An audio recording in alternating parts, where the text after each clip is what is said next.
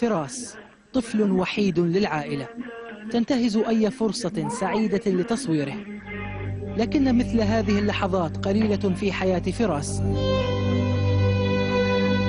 الذي يرقد على سرير المستشفى أكثر مما يرقد على سرير غرفته. فهو ولد مبتليا بعيب خلقي في القلب. مرضه حول حياة والديه أسعد وأمال إلى دروب من المعاناة والانتظار المرير. واحد مثلا هو واحد متجوزين جديد يعني. فيش يوم يعني كويس شفنا. يعني طول حياتنا عنا دواء وما دواء واعمل الدواء وركز وابصر الشو وكل يوم دواء وكل يوم صيدلية ومش يعني هيك. والله من الله ما أحلى هيك يعني. متأب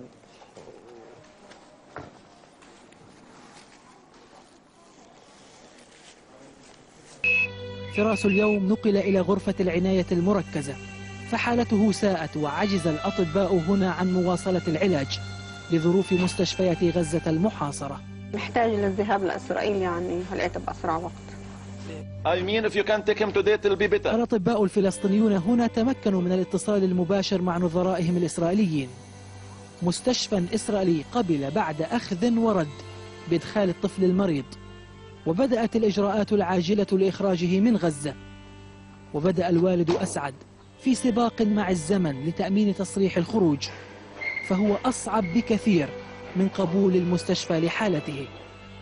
الإسرائيليين بيطلعوكاش لتكون ش- الصورة الشخصية على شهادة الميلاد.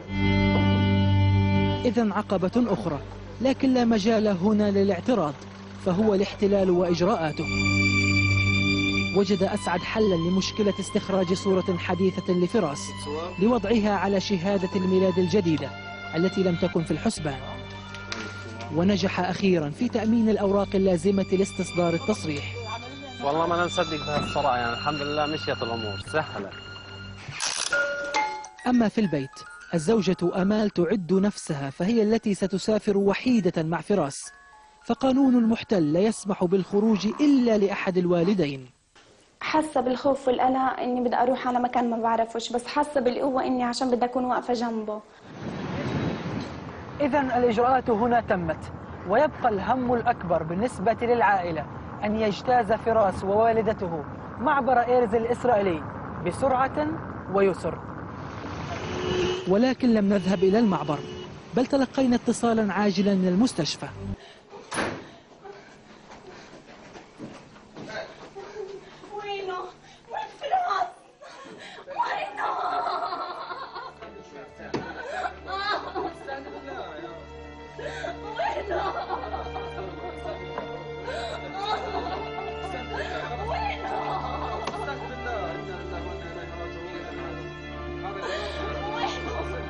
可以，可以，可以，可以，别，可以，这三个，来。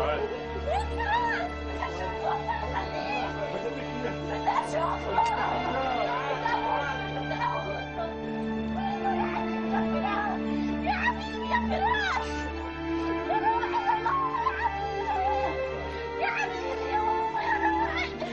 你别动！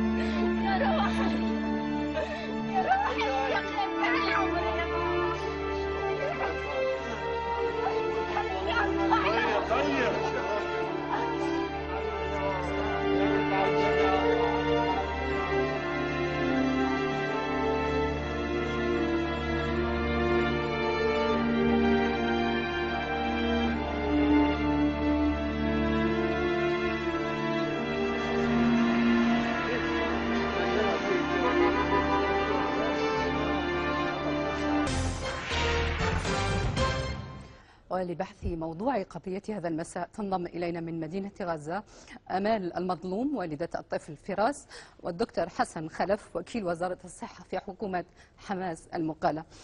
أمال بداية في الواقع لا أجد الكلمات التي يمكن أن نعزيك بها. أنا والدة تماما مثلك لبنت هي في عمر فراس رحمة الله عليه.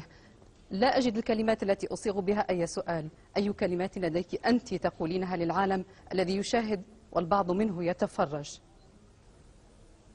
بتمنى إنه كل طفل شفته تعبان جنب طفلي في المستشفى إنه إنه يتعالج ويطلع من حقه إنه يعيش ومن حقه إنه يعني يتعالج ويلاقي الدواء المناسب له ما يموتش وينازع قدام إمه زي ما كان زي ما صار معايا. شفته هو بينازع قبالي بس ما كانش بإيدي طالع حاجة مش قادرة أعمل له حاجة.